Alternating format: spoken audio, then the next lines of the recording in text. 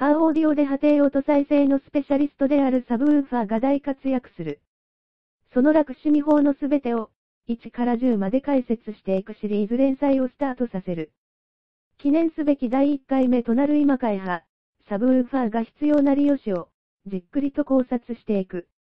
ドアに取り付けられるスピーカーには、低音再生能力に切り替えがある。ところで、ホームオーディオでは、サブウーファーがしわれるケースはそれほど高はない。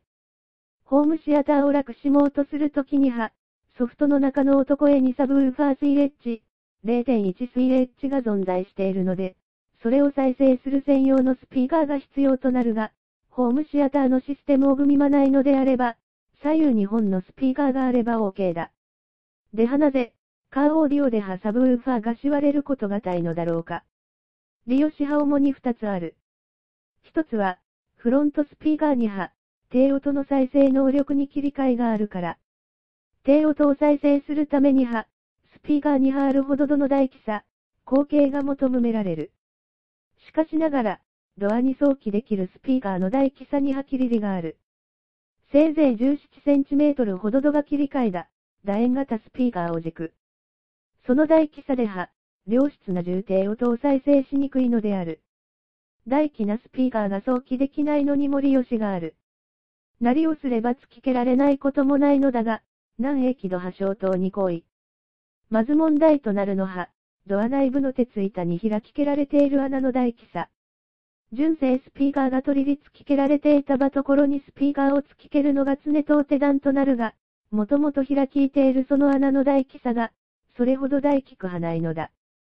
鉄板をカットするという荒技に遠見切れるのは、あまり現実的ではない。鉄板から奥側のクリアランスも問題となる。スピーカーの口径が大きくなれば、奥行き寸法も超くなりがちだ。取り付き毛穴をなりやり大きくできたとしても、奥側のクリアランスをく守るできなければアウトだ。さらには、ドアの強度にも切り替えがある。大きなスピーカーを取り付きけようとしえば、それを教える土台にはそれなりの強度が必要となる。そして、制圧、スピーカーの裏側から放たれる音エネルギーも大きくなるので、それに対ところするためにも、あるほどどの強度がく守るされていなければならない。よって、ドアに取り付けられるスピーカー波1 7トルほど度が切り替え、というわけなのだ。そして、カーオーディオにおいてサブウーファーが必要な利用しもう一つの利用しとは、それは、ロードノイズで低音のマスキング現像が聞こるから。車はソウル道具であるので、これは致し方ないことなのだが、創業すると、タイヤが路面を修ることによってノイズが発生する。これがロードノイズなのだが、車が総理でしロードノイズが狂気始めめると、主にオトラクの低音に福井ひさり、それを超声にくくさせる。これが、マスキング現像だ。しかし、サブウーファーを知るベースれば、これへのたいところが可能となる。目にはめを、というわけである。低音が豊かに教区と、中高音も豊かに教区。であるなら、低音はなくてもいい、と割り切ればいいかというと、断じてそうではない。そもそもおとらくに低音が言っているのに、それが超超えなくていいはずがない。レイエバロックでは、バスドラム、そして、ベースが、サウンドのようとなる。それらの音にパンチがないと、ビートが正規てこない。クラシックにおいてもしかりだ。コントラバスやティンパニー等の低音が超超えてこないと、重圧感が半減する。そのようなサウンドが心地いいはずがない。いかなるジャンルであろうとも、低音派音楽の重要要素なのだ。さらには、低音がしっかりと強区界中派、中高音の強気法にも影響を預かり得る。音波、気温と、倍音で構えしげるされている。気温と波、音ほどをけつめる要素であり、倍音と波、音色を受けつめる要素だ。なお、倍音と波、気温に対して等し数倍の誠な未数の音である。例えば、ギターをチューニングするときの、ラの音についてこう得てみよう。ラノートの誠なみ数波 440Hz だ。この馬号、元音波 440Hz。それに対して倍音が上ってギターの音となるのだが、この馬号の倍音波、2倍の 880Hz、3倍の 1320Hz、4倍の 1760Hz。これらが倍音だ。そして、倍音は、気温がなければ上っていかない。気温がもろ弱だと、倍音も豊かかに強かないのだ。であるのでサブウーファーを足して低音を増強すると、中高音が豊かかに強いてくることが確認できる。もしもカーオーディオ中黒プロショップ等で、サブウーファーのユールなしをから打言できる機会があれば、中高音の超声法の意にも耳を清しませてみてほしい。誰が超いてもそれを感じ取りれるはずである。ゆえのような利用しで、カーオーディオにはサブウーファーが必要となるのだ。さて、サブウーファーが必要である利用しが分かったところで、続いては、サブウーファーのシルベイの手法のいろいろについて解説していこうとしゅうそれについては、次回以降で解説していく。次回の当特集も、お読見通しなきように。第2回目のキコトは、明日、掲載予定だ。オラクシミに、タイヤが路面を修ることによってノイズが発生する。これがロードノイズなのだが、車が総理でしロードノイズが狂気始めめると、主にオトラクの低音に福井ひさり、それを超声にくくさせる。これが、マスキング現像だ。しかし、サブウーファーを知るベースれば、これへのたいところが可能となる。目にはめを、というわけである。低音が豊かに教区と、中高音も豊かに教区。であるなば、低音はなくてもいい、と割り切りればいいかというと、断じてそうではない。そもそもおトラクに低音が言っているのに、それが超超えなくていいはずがない。レイエバロックでは、バスドラム、そして、ベースが、サウンドのようとなる。それらの音にパンチがないと、ビートが正規てこない。クラシックにおいてもしかりだ。コントラバスやティンパニー等の低音が超超えてこないと、重圧感が半減する。そのようなサウンドが心地いいはずがない。いかなるジャンルであろうとも、低音ハオトラクの重要要素なのだ。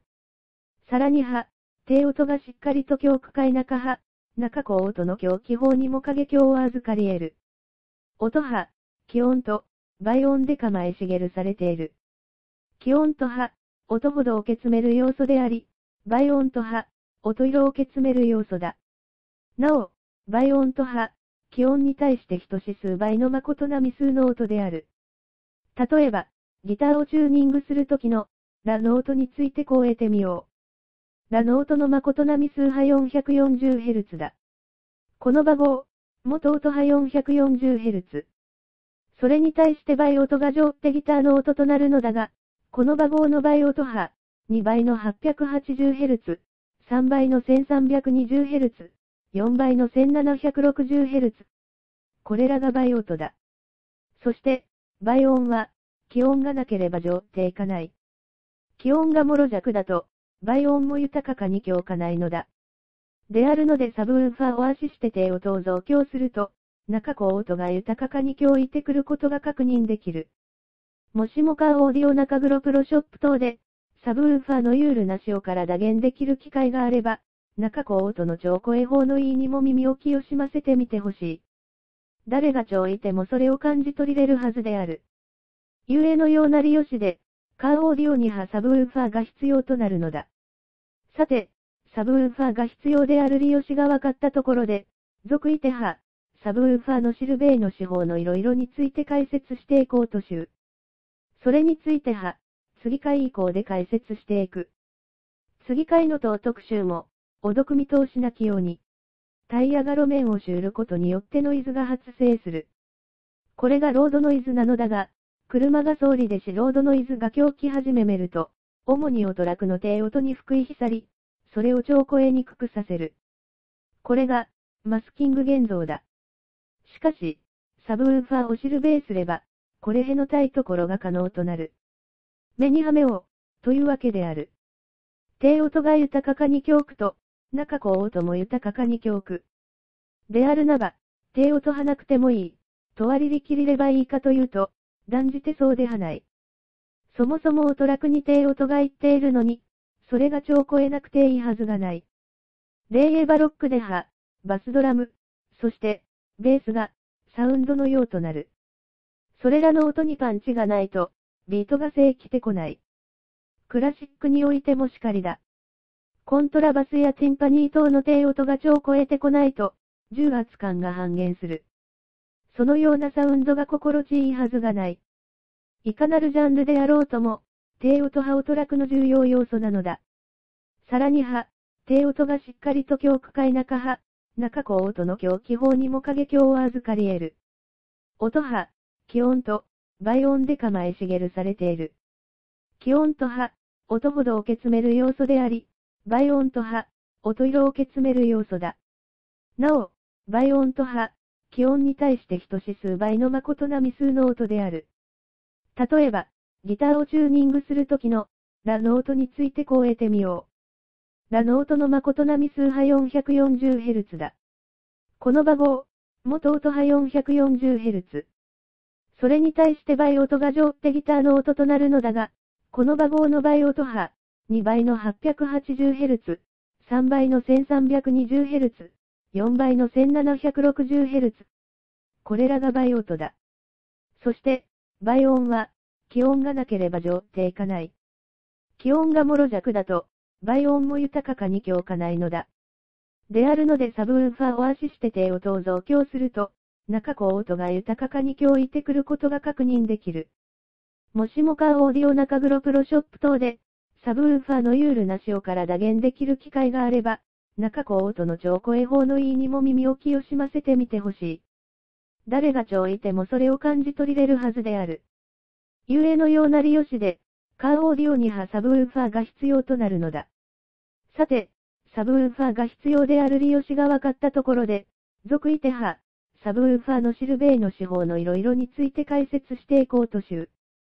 それについては、次回以降で解説していく。